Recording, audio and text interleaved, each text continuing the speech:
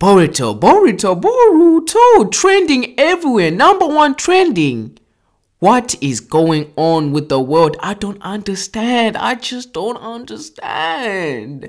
So, if you haven't seen Boruto's latest chapter, it's been like trending everywhere, like everywhere. People have been hyping it up because it's the time skip. It's the time skip when we see Boruto and Sarada all older, all like I think it's like a seven year time skip. We see them in the after the time skip, and they look older. So people are hyping up a time skip. It's Boruto. You should know this by now. We're hyping up trash here. It's Boruto. I don't get it. Why are we hyping up trash? It's Boruto. It's Boruto. I'm sorry, but every single character besides the original Naruto cast in Boruto is trash. They're trash. Boruto.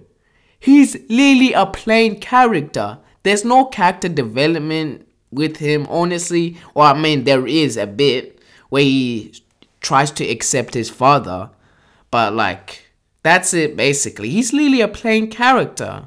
I don't understand. I just don't get it.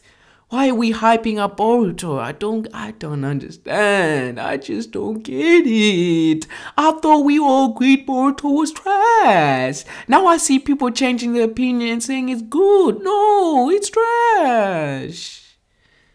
We listen, the only reason people care about Boruto is because of Naruto and Sasuke, not because of Boruto.